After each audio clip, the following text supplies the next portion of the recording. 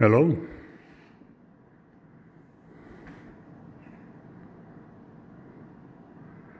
This painting is titled Silent Cove. I did a series of paintings the time of 9-11 and I had a TV running in my studio the time when 9-11 the buildings came down. And, and it really did something to me that time.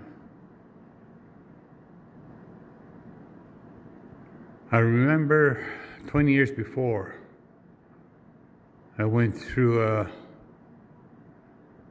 a dry spell at that time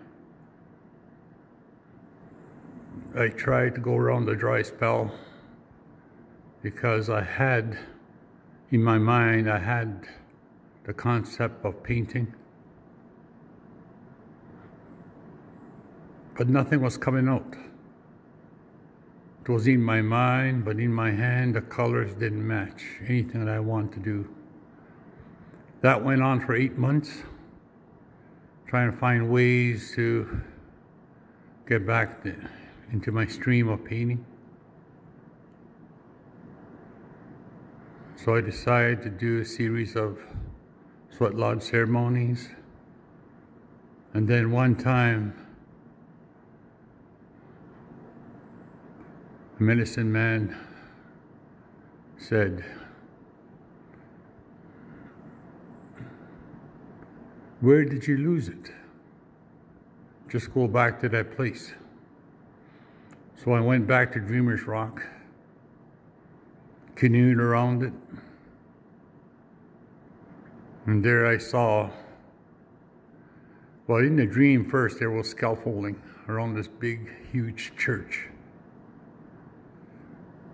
And that time, I visited Germany, and I seen the Dome Church in Cologne. There was scaffolding around that too. But that was in the dream. A few months after that, I visited Rome, I seen St. Peter's, all the other churches for that matter. Some, some of them had scaffolding around them, but that wasn't it. Those weren't it. So that's when I decided to go back to Dreamer's Rock and search where I lost my, th my thoughts of painting. So I, I paddled, canoe paddled around the area of Dreamer's Rock, offering tobacco here and there. So I looked up towards the rock itself the sacred place. And the trees that were around it, that was the scaffolding holding up the, uh, the rock. And I felt this enormous feeling that I found something. Didn't know quite yet then. So that evening, I decided to paint, and everything came through the coloring, thinking, and just doing what I need to do to complete a painting. So that 9 11, that's what it did to me the tragedy. So I started thinking about, I think I'll make a series of paintings regarding to the 9 11. So this is one of them it's titled Silent Cove. That morning, a spouse or a wife went to uh, went to work in that building, and one didn't return. These people, these two couples, remember there's a lot more, but these couple, man and woman, they were planning to have children And on the legs of this image, this lady, you got the eggs, everything planned. And that was wiped out. All he has now, this lady, is prayer, the Thunderbird, communication with the Great Spirit. Below it, you'll see a club. Now, that lady will be fighting for himself. And behind her, there's a shield with sweet grass edges around it, edging. She'll fight by herself.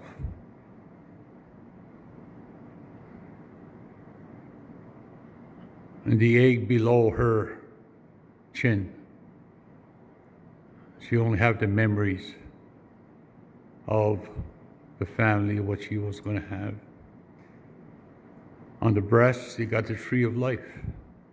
She'll follow it the way it was taught, the way these teachings are given.